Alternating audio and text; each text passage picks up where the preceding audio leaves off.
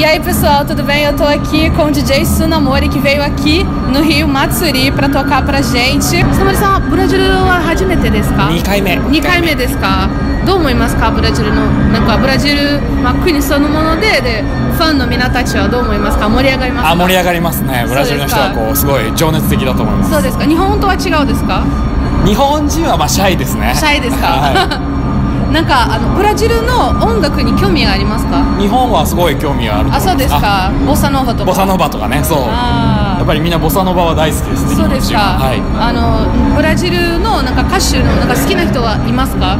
砂森さんは。え歌手か。あのでもあの歌手じゃないですけど、はい。あのそれこそアントニオ・カルロス・ジョビンは高校生の時にはよくすごいいっぱい聞いてました。なるほど、はい。なんかそういう影響もありますか？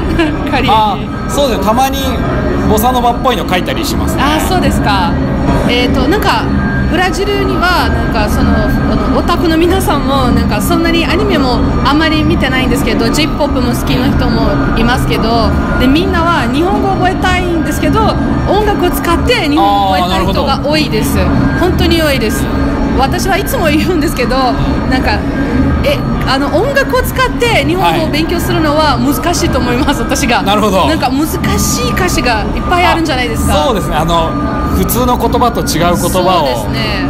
どう思いますかそれが？どうどうそうだな。確かに。歌詞でしか使わない言葉が確かにいっぱいありますね。ありますね。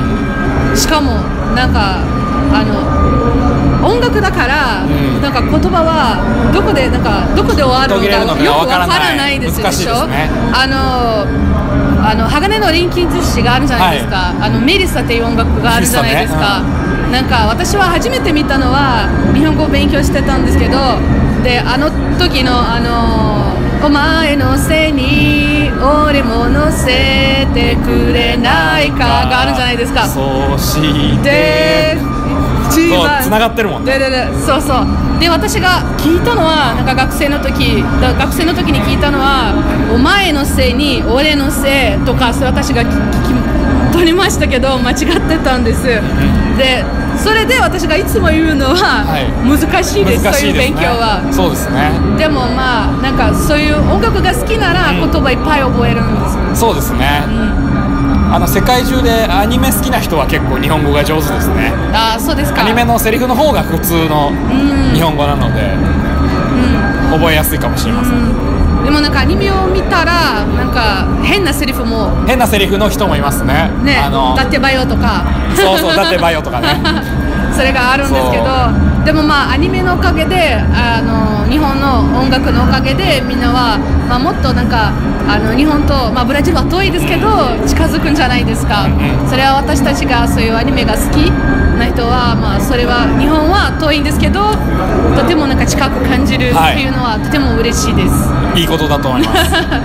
でなんか日本語をあの覚えたいんですけど覚えたい。人たちにでもなんかあ難しいな漢字が多いなって思う人にメッセージありますか、漢字か、まあ、漢字は日本人でもできない人はいるんで。あそうですか。あのねお苦手ですか？僕は得意ですけど。得意ですか？おお僕は得意な方ですけど 全然漢字書けない人もいるんで。そうですか。大丈夫です。ほら聞いた皆さん大丈夫ですちゃんと勉強すればできますよ。よかったら日本語を勉強してあの日本に遊びに来てください。来ましょう日本に。お楽しいですよ。バイバイ。チャオチャオ